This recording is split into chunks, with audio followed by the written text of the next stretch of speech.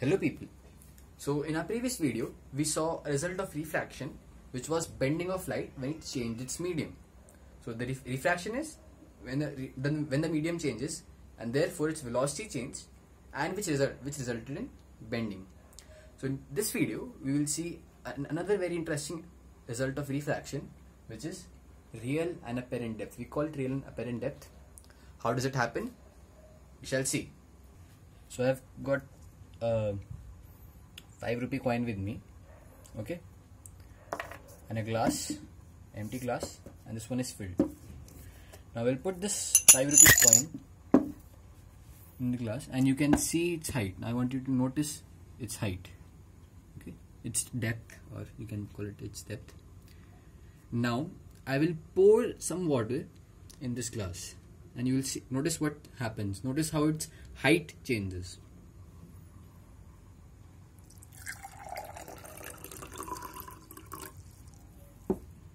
yeah notice something it raised itself.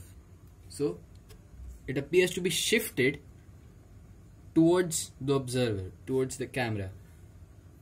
Why does this happen? How does this happen? We shall see. So let me draw its diagram okay?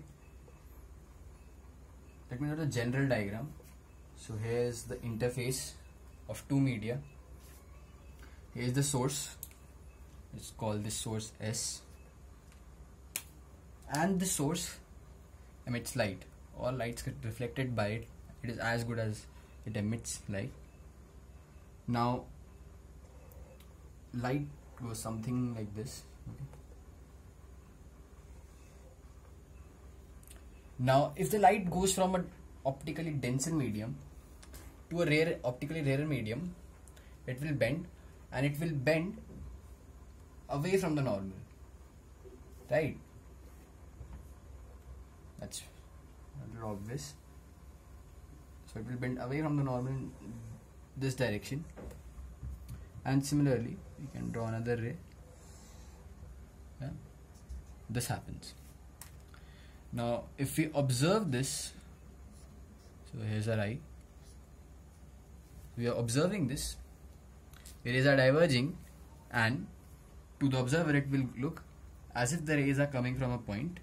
We find these points by drawing these rays backwards.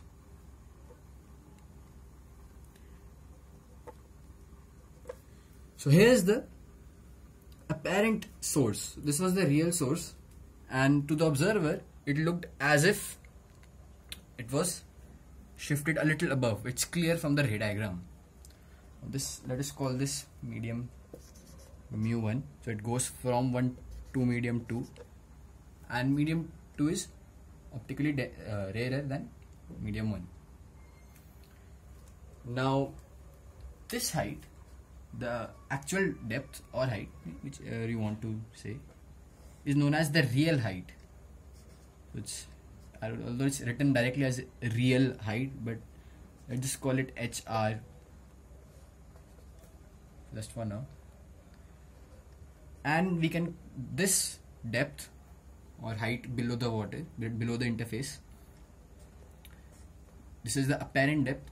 So HA we can call this HA okay?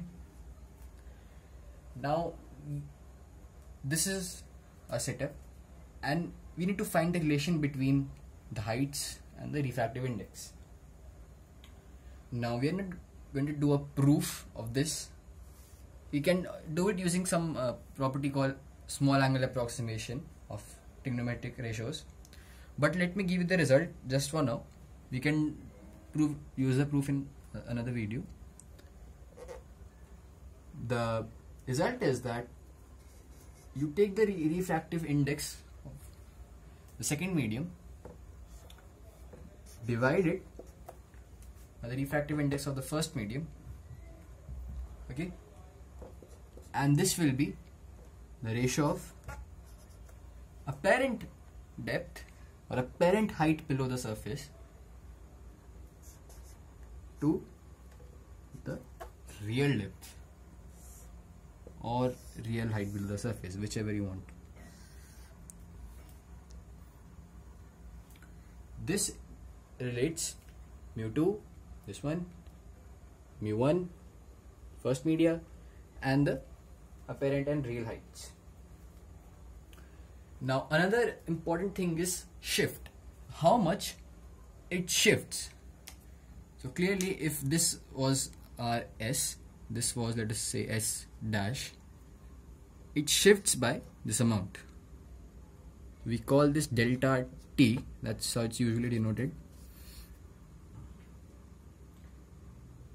and now we will calculate the shift.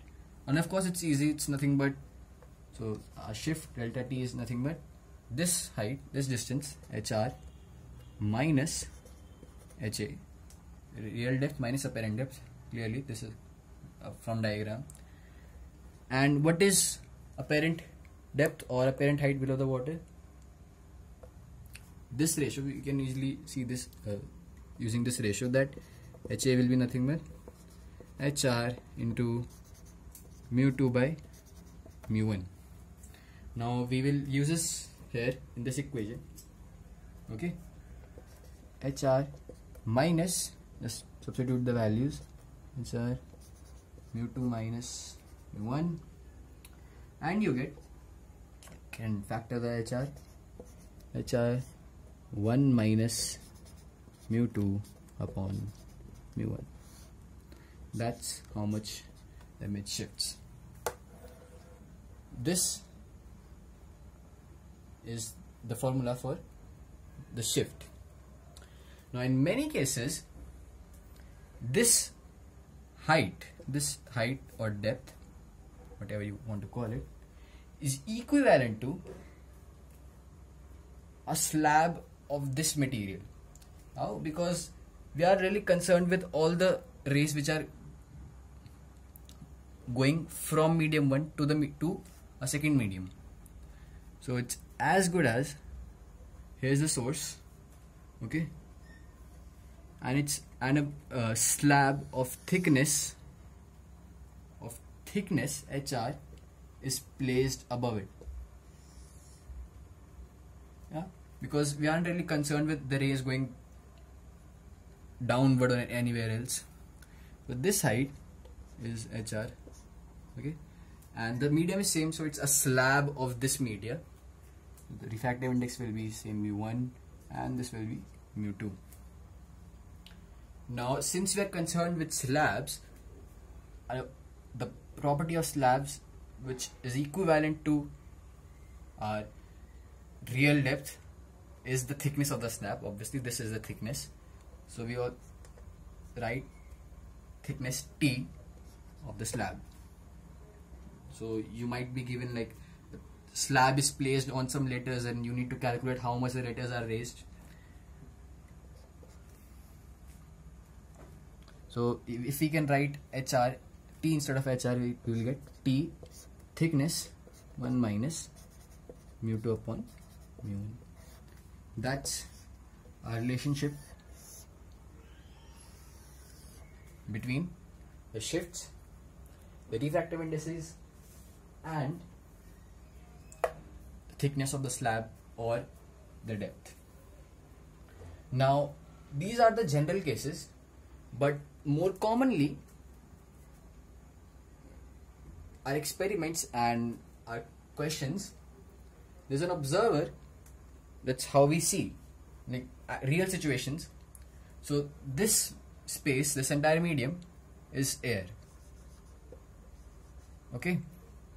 This is air and what is the refractive index of air? So clearly this will be mu2 and it is 1.0003 we approximately say that okay it's as good as 1 in many cases we take the refractive index of air to be 1 I spoke it earlier now if our mu2 is 1 how will our equations change? Well this will become let me write 1 instead of mu 2 so 1 upon and this will become absolute refractive index of course. Mu we can call this just mu. The apparent depth or the apparent height below the surface divided by the real depth which gives mu the refractive index the ratio of real depth divided by apparent depth. This is also a formula which you can use when a second medium is air or as a refractive index 1 that is vacuum. And how will this formula change? This will change. As delta t is right 1 instead of mu 2 so thickness t 1 minus 1 upon mu. That's how our equations will be formed. So as a quick question let me give you a quick numerical very easy numerical. So in an experiment the thickness or the depth the actual depth of the coin was let's say around uh, 7 6 centimeters okay? So uh, it was 6 centimeters and the refractive index of water is again 1.33 we need to consider the refractive index of air as 1 okay? And the question for you is what is what was the apparent depth that we saw? And how much the image shifted?